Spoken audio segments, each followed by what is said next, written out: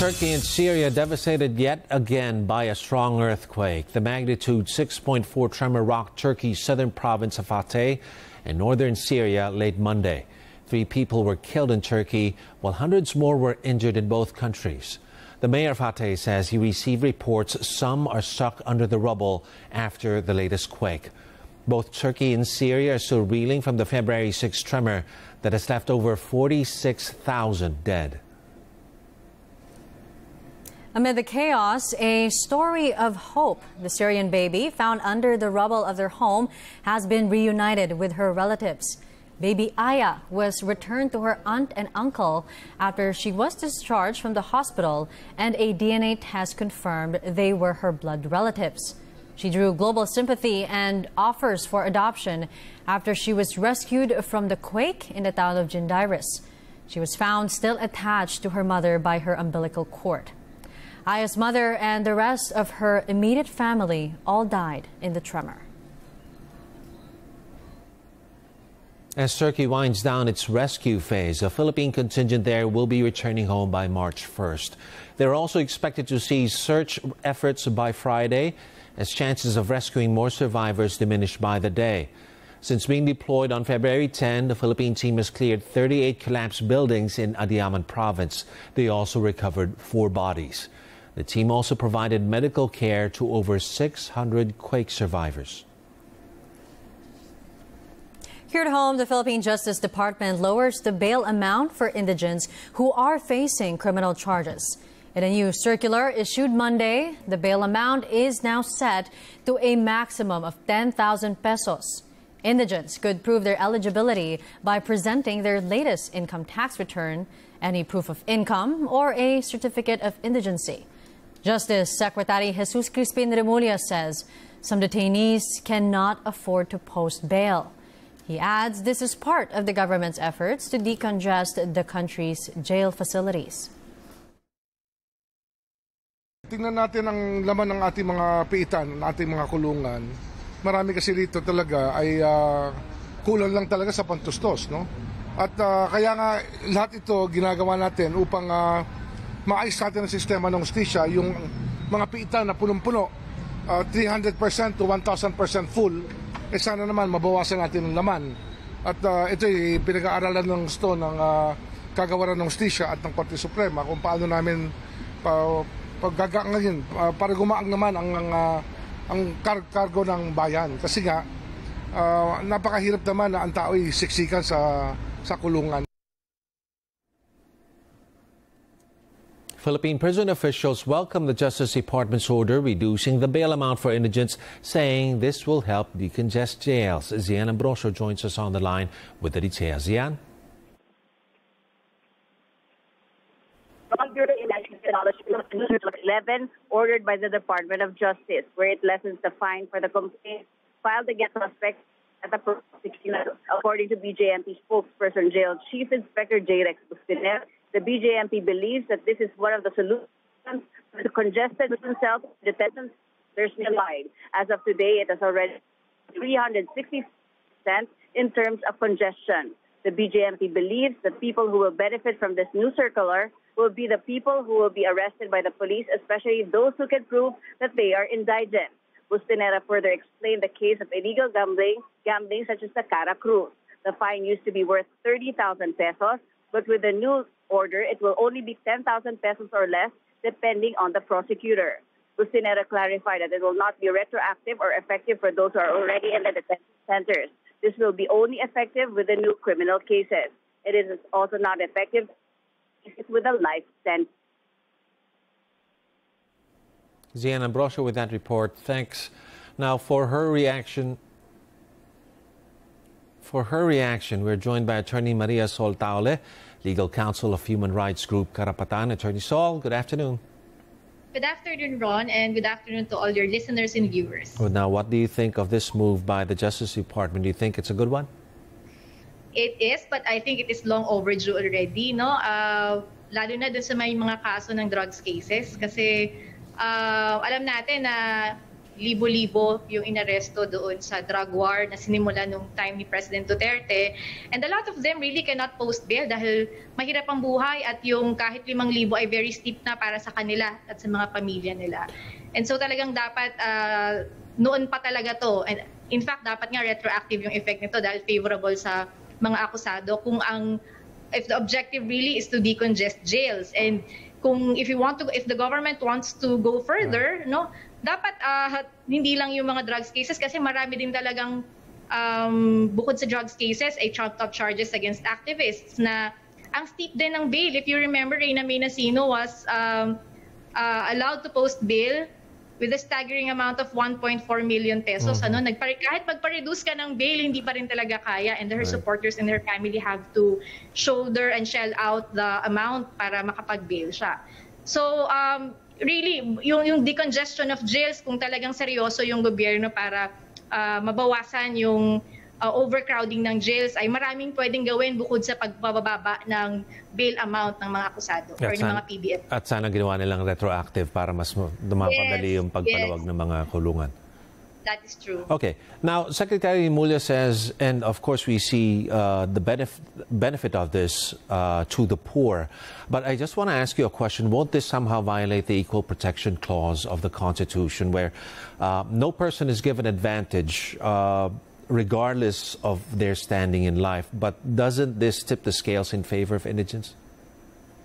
Yeah, it should always favor the, I, think this uh, new rule should always favor the poor, no? Kasi alam mo, hindi lang, hindi lang naman uh, yung bail amount yung problema nila, no? pati yung access to justice, yung uh, mahirap kumuha ng private lawyers and overburdened ng ating mga PAW lawyers, no? Uh, nakikita ko to everyday sa uh, court setup. And sometimes yung mga kababayan natin na wala nang talagang pangpiyansa are forced to uh, mag ano mag plea bargain para lang tapos mm-hmm. na. Ano ano ba naman yung one year titiisin nila yon kumpara sa paglalabas ng pera na wala naman yung pamilya nila. So it should I think this should really favor the poor. Yung intention talaga dapat nito ay ganun. Pero Attorney Sol hindi mo ba nakikita na baka may mag-question nito dahil nga nabibigyan ng pabor ang, yung, yung Equal Protection Clause of the Constitution, of course, uh, ang iniisip natin para hindi nakakalusot yung mga may kapangyarihan at mayayaman yes. at madala na lang sa pera. Pero on, in, in, in this situation, mas mabibigyan ng pabor yung may hirap naman which gives a mm-hmm. disadvantage. Well, hindi naman disadvantage, pero nakakalamang sila sa sa batas. Hindi, hindi mo kaya hindi, hindi kaya ito ma-question?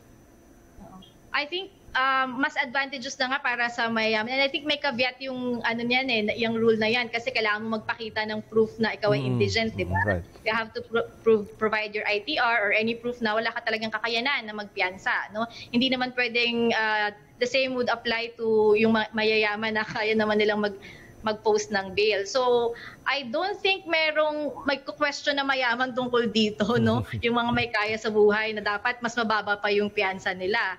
'Di ba? Uh, it's also it's always in the sound discretion also of the court naman. Right, right.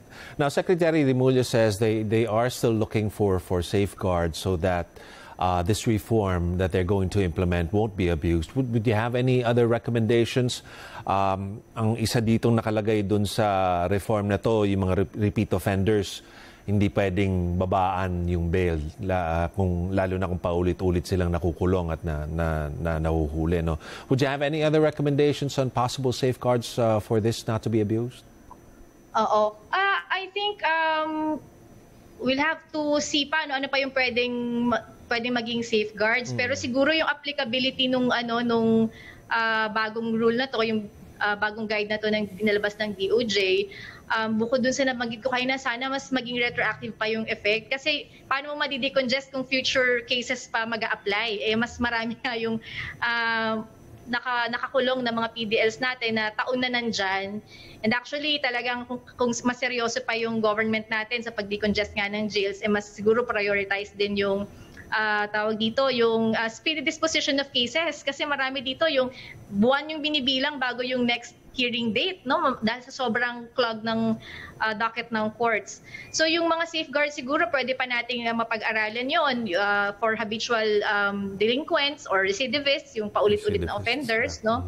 Pwede din. Pero uh, siguro dun sa mga drugs cases natin, uh, yun yung pinaka dapat maging concern eh, dahil ang dami talaga ano So, uh, of course, iba pang usapin yung mas dapat bang i-treat na uh, i-decriminalize yung substance abuse or ganon para mas uh, hindi na mas ma- ma- maipon yung mga kaso sa court dahil karamihan talaga nung mga nakakulong ngayon ay ganun yung kaso. The Justice Department also implemented uh, another reform recently. This is raising the standard in, in the filing of criminal cases. We do want to get your thoughts on that as well.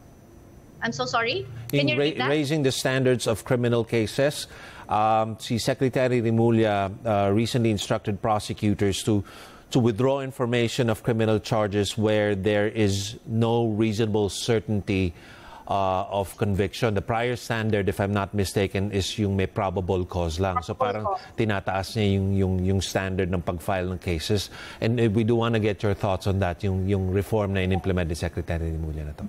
Alam mo, uh, Ron, ano yan eh, may dalawang, uh, of course, may parang double blade din siya ano, sa mga mamamayan. Kasi uh, for activists like our clients, no, uh, dapat i-dismiss yung napaka clearly fabricated charges against activists. Ganun yung tinatawag nating mga uh, pinapersecute ng gobyerno because of their political beliefs. Marami doon talagang makikita mo na ano yun eh, na fabricated or trumped up. But on the other hand, marami din naman kaming cases eh, sa experience namin kay um, labor leader Manny Asuncion who was uh, killed during the Bloody Sunday uh, operations, dinismiss kahit may clearly probable cause yun. No? So talagang uh, kung i-apply ng mabuti yan, uh, okay sana yan. No? Pero dapat fair talaga at impartial yung pagpapatupad noon. It should also benefit yung mga mamamayan na talagang clearly kinakikita mong persecuted. Kasi padami ng padami din eh, yung, yung cases ng mga uh, pinipersecute ng, na, pinipersecute ng gobyerno because of their work. No? Marami doon, mga human rights workers din. So kung talagang seryoso sila, edi i-dismiss na dapat talaga nila yung mga kaso laban dun sa mga aktivista at sa mga human rights defenders at i-pursue nila yung prosecution doon sa inaatake naman ng mga human rights workers na clearly under ng operation no, ng police and military. Attorney Sol Taule of Karapatan, thank you very much for talking to us. Thank you, Ron. Thank you. Moving on to more news, a proposal to amend the Philippine Constitution gaining ground. A House panel on Monday approved a joint congressional resolution calling for a constitutional convention. The move advances attempts by congressional leaders to amend what they deem as the restrictive economic provisions of the country's 1987 charter. Lawmakers argue the restrictions left key industries underdeveloped. there has been a lack of investments and uh, based on data we have the poorest telecommunications industry in the ASEAN. We have very poor transportation infrastructure. Hindi nagdevelop ang mga industriya natin. And the the fears that we have na baka pasukin tayo ng ibang bansa at ibang uh, kumpanya na may agam-agam tayo now we are more prone because we are not developed these industries need to be opened up because we have one of the most restrictive economic provisions according to the World Bank, according to o- OEDC. The resolution was passed after lawmakers held a series of provincial consultations. Senators weighing in on the push to amend the 1987 Constitution. For Senate President pro tempore Loren Legarda, the government should instead turn its attention to the most pressing issues in the country. She also calls for more efforts to pursue innovation, digitalization of MSMEs, and agricultural productivity. Senate Minority Leader Coco Pimentel meanwhile says he's not sold on amending the economic provisions of the charter. If they want to prioritize the economic provisions, uh, uh, I'm not excited about that. I may even object uh, against that, given the fact that we have, uh, in the last Congress and in previous Congresses, we have passed some economic Yes. liberalization Like the laws. PSA, di ba? PSA, the 100% retail foreign trade, ownership. liberalization law, which I sponsored and I defended, and of course the uh, Foreign Investments Act. Oh. And then so uh, we did this, of course, thinking that these are constitutional ah, in accordance with the Constitution. Therefore, if if uh, we did this, there's no need to change the the constitution if we are able to do this. So let us give uh, these laws, the, the, at least these three laws which I mentioned, time to prove their worth kung talaga bang if we are able to achieve the the objectives. Then if if not, in spite of them being upheld to be constitutional, then saka tayo mag-isip what is wrong. A full display of political patronage. That's how think tank Ibon Foundation sees the move of the Philippine Senate to hand out so-called inflationary allowances to its employees. Ibon Foundation Sonny Africa says if it can be done in Congress, why not do it for Filipino families grappling with skyrocketing prices of basic goods? Yung medyo pinaka-unsettling dun sa naganap na announcement na yan, hindi yun sa makakakuha ng, ng benepisyo yung mga, mga kawani na chances are deserve naman nila yan. Kundi, kinakailangan ganun ba? Na depende sa wisyo na lang na nasa poder. Ay, magbibigay ako ganito kung gusto ko, kung hindi, hindi ako magbibigay. So medyo kumbaga on full display na parang mali ito. Yung gobyerno ay nandiyan para sa lahat. The Philippine Senate earlier raised its one-time inflation assistance for its employees to 50,000 pesos from 12,000. It will be disbursed in August, benefiting some 3,000 workers. A second resolution has been filed at the Senate seeking to stop the International Criminal Court's investigation into the Duterte administration's drug war. In his resolution, Senator Jinggoy Estrada called the ICC investigation disrespectful to Philippine sovereignty. He adds four cases that are pending before local trial courts show the government's resolve to ensure erring individuals will be brought to justice. Senator Robin Padilla was the first to file a resolution at the upper chamber defending Duterte from the ICC's probe. It followed a similar resolution filed by over a dozen House lawmakers led by former President Gloria Arroyo. The Justice Department vows not to object should detained former Senator Leila de Lima file a habeas corpus petition. That statement from Secretary Remulla comes as calls for de Lima's freedom grow ahead of the sixth anniversary of her detention. The former lawmaker has been detained since February 24, 2017, on what her lawyers insist are trumped up drug trafficking charges. One of her cases has already been junked. Ang sa akin, uh, all, all of us have have our, uh, our our means of defending ourselves. We have our remedies available under our legal system. So let it be that way. If they wish to petition for bail or for habeas corpus, so be it. Uh, it is her right, after all, as a citizen uh, detained, to ask the court. The Supreme Court recently granted the temporary release through a writ of habeas corpus petition to Gigi Reyes, former aide of then Senator and now Presidential Legal Counsel Juan Ponce Enrile. Both of them are facing plunder charges in connection with the pork barrel scam. The chief of the Philippine National Police appeals for the public's help in bringing to justice the suspects in the killing of Aparri Town Vice Mayor Rommel Alameda. George Carino joins us on the line with that story. George? Hi, Denise. Uh, Philippine National Police uh, Chief General Rodolfo Azurin Jr. said on Tuesday that they will apply the full force of the law against suspects in the killing of Aparri Town Vice Mayor Rommel Alameda if the suspects are indeed police officers. The statement was made by General Azurin on Tuesday in an interview in the city of Manila after attending the 32nd anniversary of the Manila Police District. That statement was given by the PNP chief in the light of a police report sent to the national headquarters here in Camp Crame that suspects who ambushed the vice mayor were seen wearing the pixelized police uniform. The PNP chief condemned the killing of Vice Mayor Alameda. He called on the support of the community for any lead that can help in pursuing the suspects the killing of Vice Mayor Alameda. Green said police investigators are still in the process of establishing motive behind the killing. Meanwhile, PNP spokesperson Colonel Jean Fajardo said in an interview Tuesday morning that investigators on the ground were able to identify the registered owner of the Mitsubishi Adventure, which was discovered early Monday, burned and abandoned. The vehicle, which was Uh, which bears several uh, several similarities to what was used as a getaway vehicle by the suspects, was a burned down white Mitsubishi Adventure without plate number discovered around 4 a.m. February 20 or Monday at Arc Road, Proctes, Barangay Uddiawan, in the town of Solano of Nueva Vizcaya province. Colonel Fajardo said, based on the initial findings of the forensic group in Nueva Vizcaya, it appears that the chassis number and the engine number of the burned Mitsubishi Adventure had been tampered and defaced.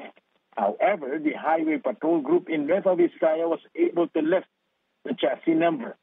Both the report sent to Camp Crame, Colonel Fajardo said the Special Investigation Task Group was able to locate and communicate with the registered owner who confirmed police investigators that the vehicle was registered under their name, but long before the discovery of burning, it was no longer in their possession since it was sold to another entity. Fajardo said that is now the focus of the investigation. On Monday, Colonel Red Maranan, the chief of the Public Information Office, told reporters that even though it's not yet established whether the burned down Mitsubishi is the same or different vehicle from the getaway vehicle used by the suspects, police will still take a very serious look at the incident due to its proximity to the escape route used by the suspects. Denise. Thanks, George. The Union of Local Authorities of the Philippines asserts a culture of violence and intimidation has no place in the country. The group's president, Quirino Governor Dakila Cua, calls on the public and private sector to work together to prevent more cases of violence. But he believes the recent attacks on local officials are isolated cases. I have faith in the Filipino people, in our culture, uh, to be peace loving, hospitable, uh, and really uh, not at ease with violence in our community. We in ULAP believe that uh, this is an outlier. It is not a common practice. That's why we are all vehemently uh, condemning this kind of acts. Mm-hmm. Um, but you are right in a sense that it is very brazen in nature. Uh, nakaka naka-alarma how uh, uh, kung gaano kalakas ang loob ng mga perpetrators nito and kung nagagawa po nila ito sa mga opisyales ng ating pamahalaan uh, and our security of the of the government officials are, are a threat paano pa kaya yung security ng mga ordinaryong mamamayan natin na walang katungkulan Let's now check the weather here in the Philippines with Pagasa forecaster Rhea Torres. Rhea?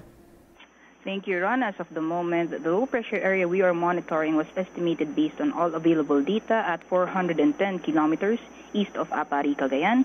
Meanwhile, this said low pressure area still has low likelihood of developing into a tropical depression, and said low pressure area will no longer be affecting any parts of the country. However, northeast monsoon will still be uh, bringing cloudy skies with rains over Cagayan Valley, Cordillera, Aurora, Quezon, Camarines, Camarines Norte, and Camarines Sur. Meanwhile, for Metro Manila and the rest of Luzon, partly cloudy to at, uh, clou- at times cloudy skies with light rains will be expected.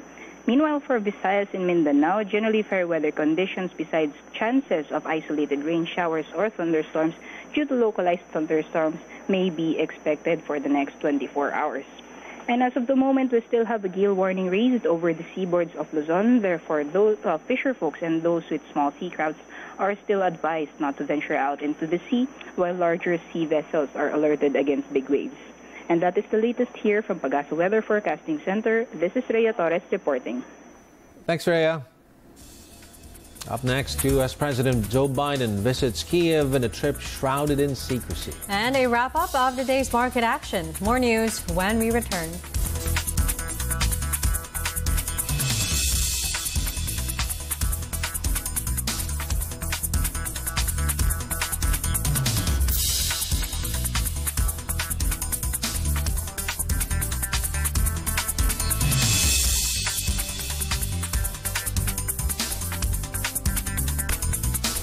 You're watching Top Story. Here again are the headlines. A new tremor strikes Turkey and Syria, leaving three people dead and hundreds injured.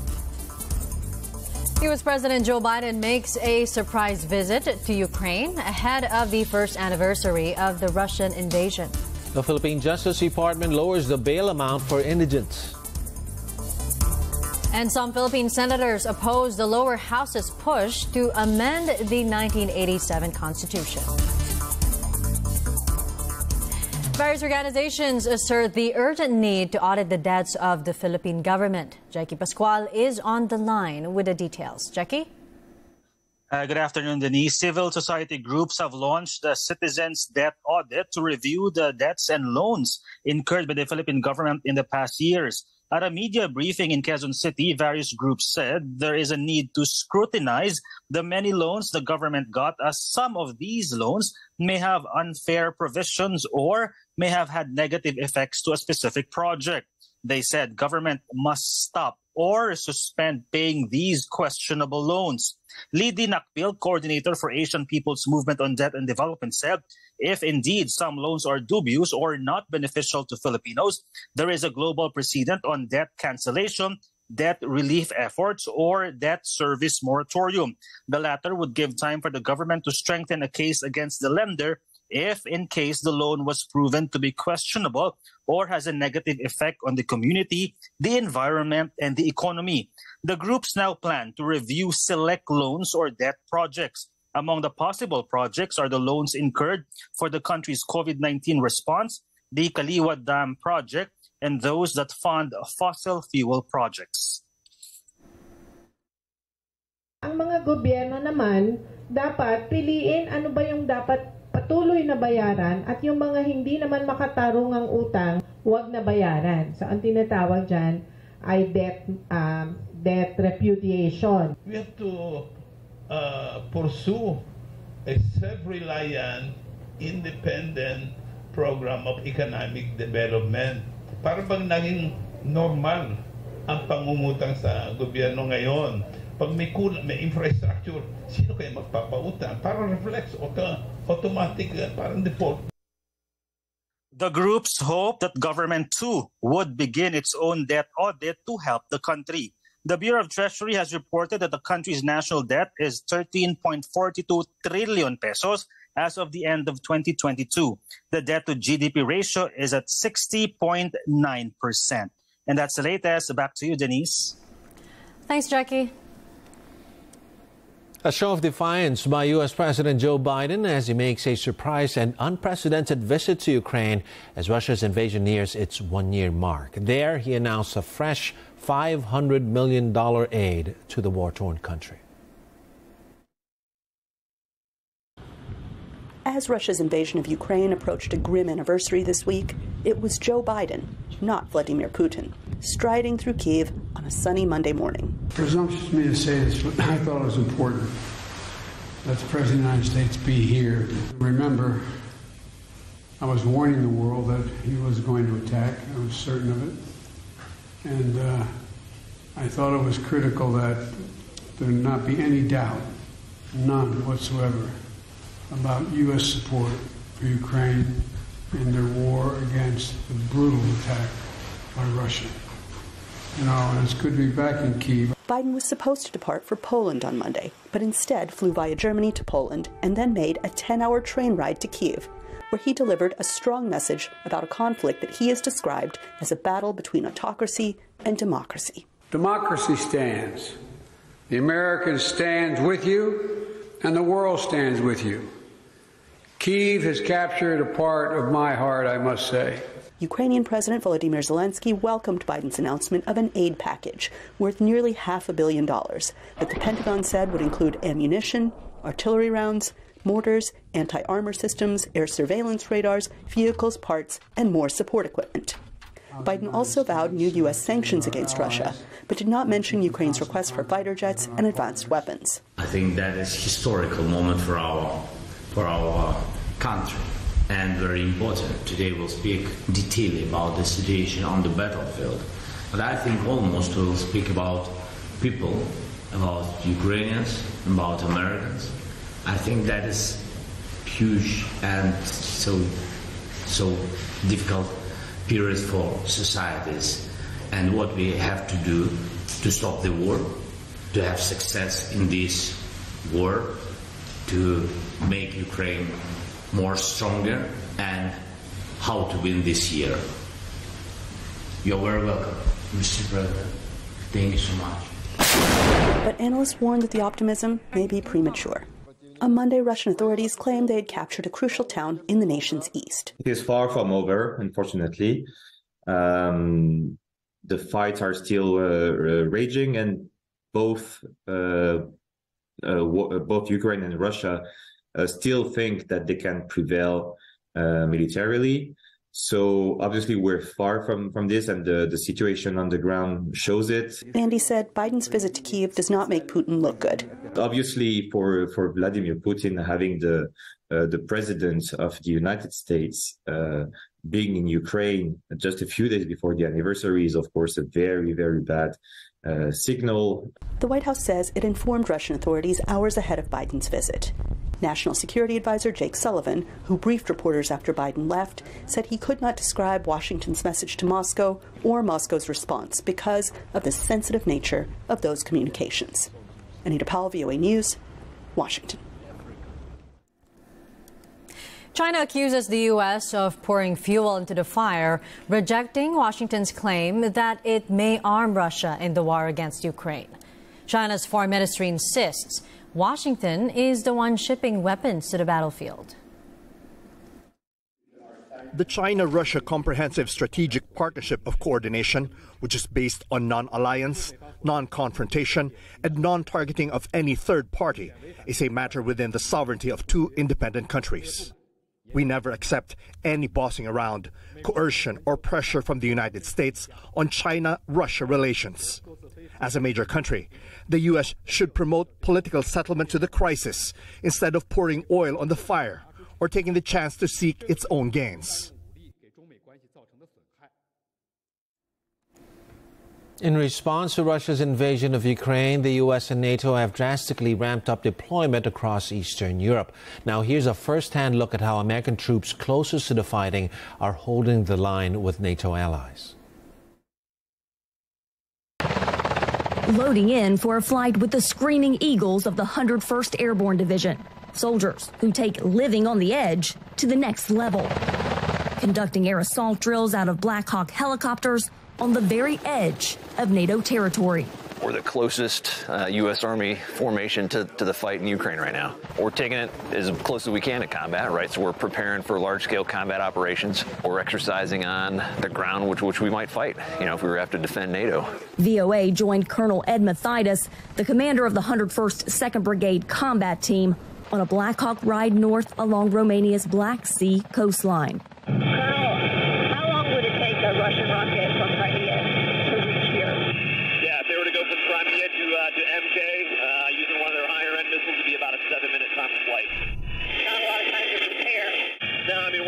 Focused on is making sure that we've uh, we've prepared our force for whatever eventuality. So we've uh, we've increased force protection in and around um, you know Togani You know we've dispersed our forces so that we're not a, uh, a single target.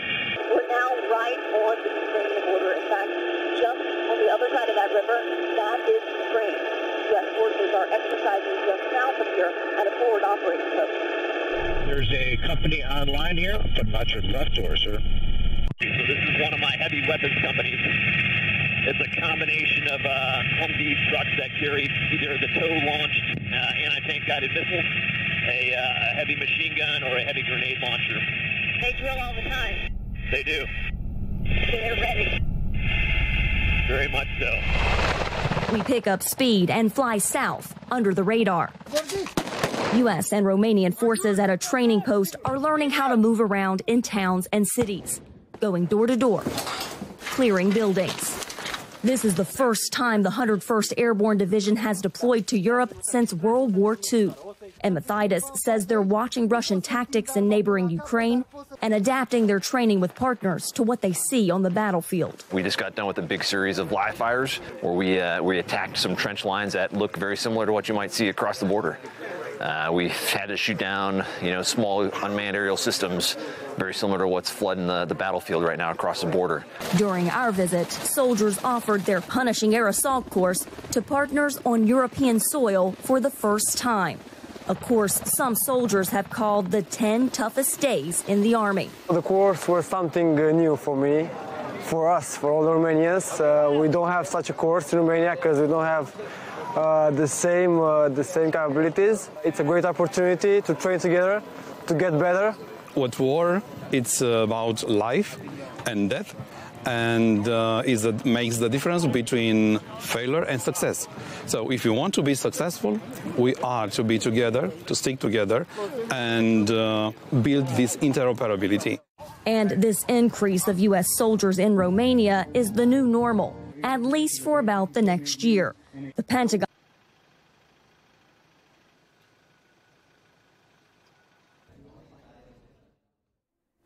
Back here at home, the missing Cessna aircraft in Bicol has been found. Let's get more details from CAAP spokesperson Eric Apolonio.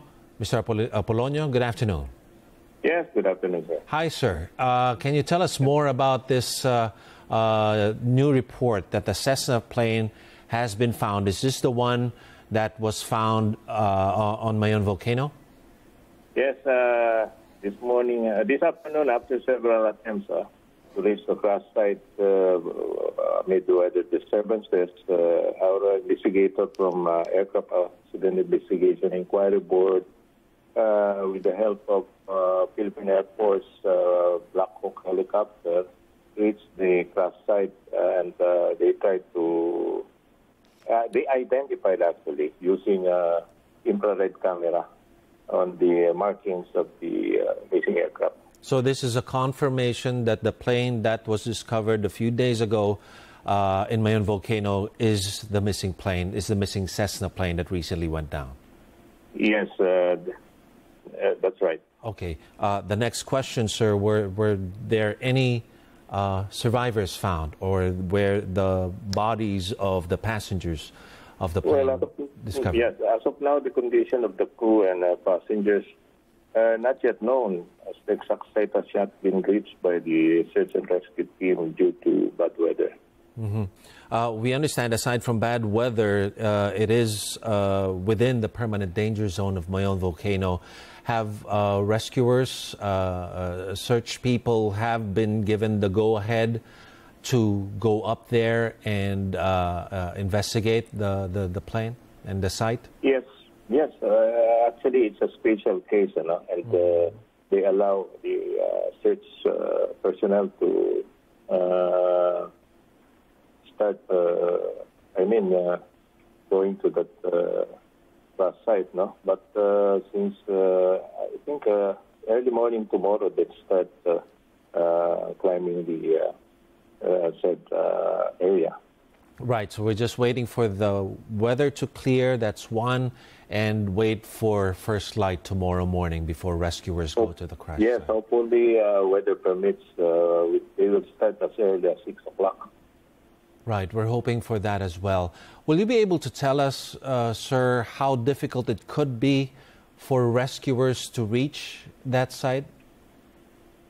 Well, it's very dangerous because the slope, no? Mm-hmm. Uh, since it's a permanent danger zone, and uh, we cannot discount the uh, fumes of the uh, uh, volcano, so uh, it's really dangerous for them to to start the uh, climb by uh, tomorrow. And it has to be climbed uh, by foot. No use of uh, any chopper. Uh, that that will be well, riskier for them, right? Very very difficult because uh, the wind factor is mm-hmm. you know helicopter cannot just penetrate areas like that. especially it's only about three. 300 kilometers away from the slope of Mayon. Mm-hmm. How many uh, rescuers uh, will be tapped for this, sir? It's a combination of all the LGUs, Air Force, and uh, the, I think about more than 100 of them, including the uh, hikers that is familiar with the area. Okay, Mr. Eric Apolonio, the spokesperson of the CAAP, thank you very much for uh, the information. Yes, thank you very much also. And, uh, okay, for thank you very much. For those of you who just joined us, that was uh, Eric Apolonio of the CAAP confirming that the Cessna plane or the plane that was found uh, at Mayon volcano is the Cessna plane that has been missing. Um, they, they have confirmed and they have identified the plane through its markings. Uh, search and rescue people will proceed there hopefully by tomorrow when the weather is clear and when there is sunlight already. We'll give you more details as soon as we get them. Moving on, Russian President Vladimir Putin delivers his annual address, the first since the start of the war in Ukraine. Putin spoke Tuesday in Moscow before lawmakers and military commanders. There, he accused Western countries of playing a dirty game by supplying Kiev with weapons. He also pinned the blame on the West for the conflict and claimed Moscow only used force to stop it. Putin's speech came a day after U.S. President Joe Biden's surprise visit to Ukraine a scathing rebuke of the Russian leader.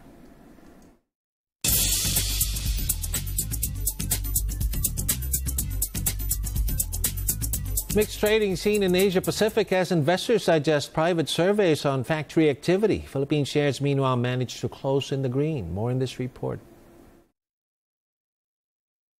Stocks in Asia fluctuated while U.S. futures fell on Tuesday as investors fret over the prospect of a more aggressive Fed rate hiking path.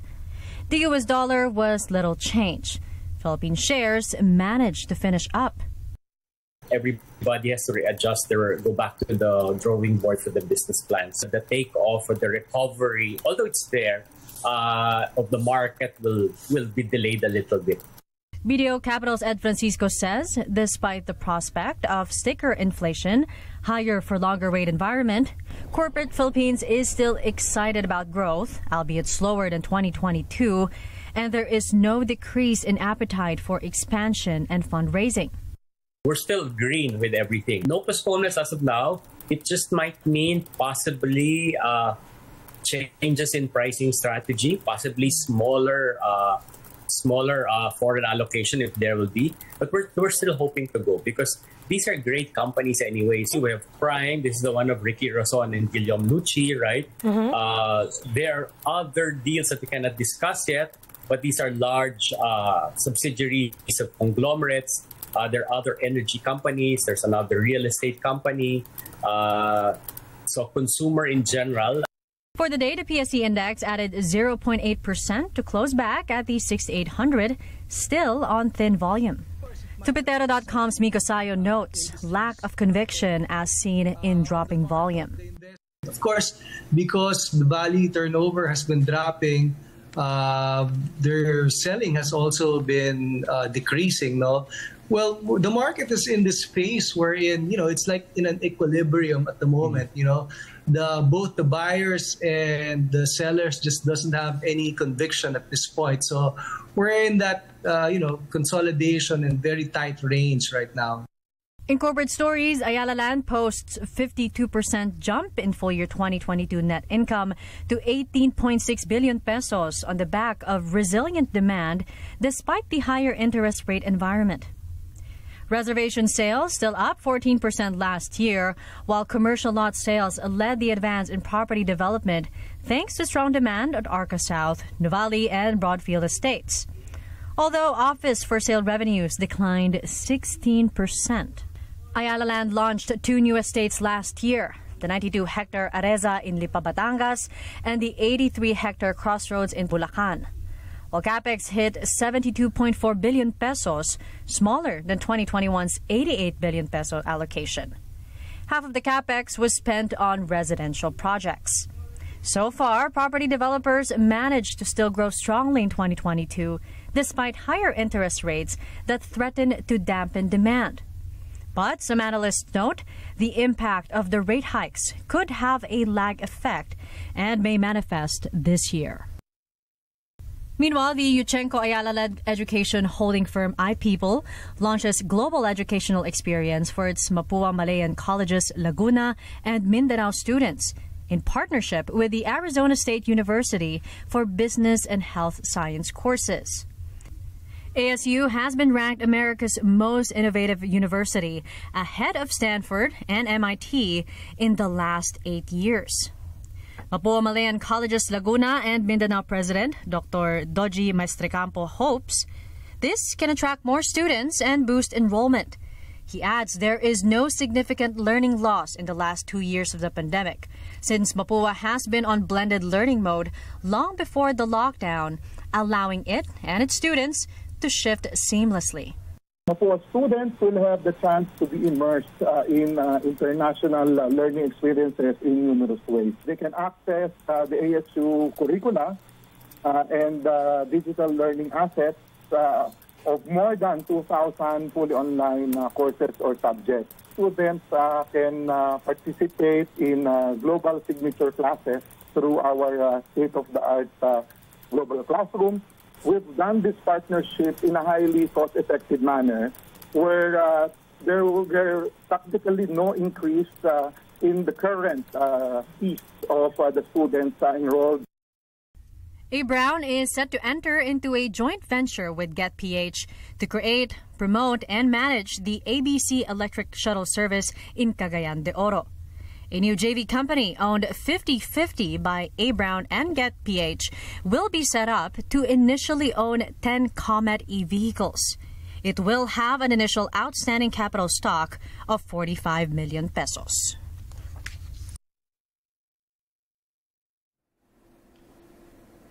The Senate Blue Ribbon Committee kicks off its probe into last week's alleged human trafficking incident at the Ninoy Aquino International Airport. In a privileged speech, Senator Grace Poe revealed a Dubai-bound aircraft declared only six passengers, but 14 individuals boarded the private jet. Cesar Chiong, NAIA's airport authority chief, admits to lapses, particularly in the screening of passengers prior to boarding. Based po doon sa initial investigation po na ginawa ng aming uh, team sa MIAA, may mga pagkukulang po na nangyari.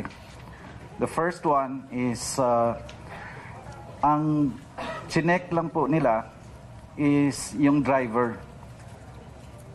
Hindi ho yung pasahero o yung mga sakay dun sa mga sasakyan. Chinek ba yung plate number? Yun po, isa pang lapse din po.